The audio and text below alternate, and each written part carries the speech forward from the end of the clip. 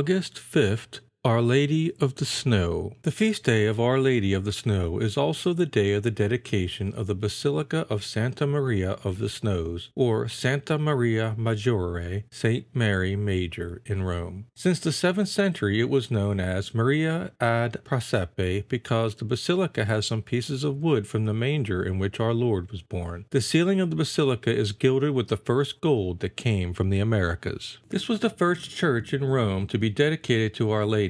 In the fourth century, Pope Liberius added a lateral hall to a large existing hall of a Roman patrician palace. For this reason, it was called the Basilica of Liberi or Liberian Basilica. Pope Sixtus III restored it almost a century later and dedicated it to the Virgin, who the Council of Ephesus had defined as the Mother of God. It was then that the basilica received the name Santa Maria Maggiore.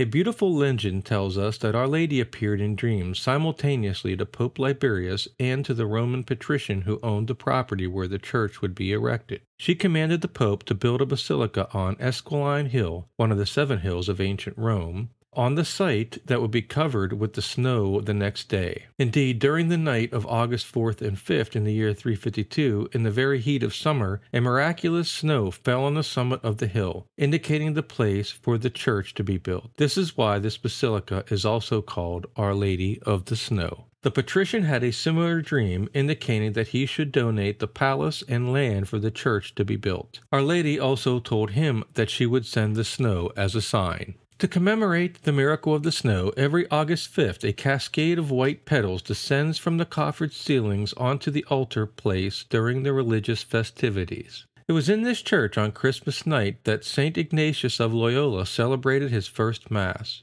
In this church, St. Pius V prayed the rosary that obtained for the Catholic warriors the victory of Lepanto. St. Pius V is also buried in this church that helped produce this miracle. Surrounding this basilica is an atmosphere permeated with history. You can find many magnificent things there wood from the manger where our Lord was born in Bethlehem, the famous icon of the Virgin Mary said to be painted by St. Luke, known as Salus Populi Romani, the salvation of the Roman people, and the basilica's ceiling gilded with gold from the mines of America and presented by the sovereigns of Spain, Ferdinand and Isabella, to the Pope. It is a very beautiful gesture to take the first gold from America, and instead of putting it in a bank vault, offer it to the church so it can be placed on the ceiling of a church dedicated to Our Lady. To send the first riches, the first fruits of America, and use it to honor Our Lady is an implicit recognition that she is the mediatrix of all graces. Let us pray to Our Lady that under this very poetic invocation of Our Lady of the Snow, she will help us to love and fight for the sacred traditions of the Church and open our souls to the most astonishing miracles during the days of the chastisement predicted at Fatima.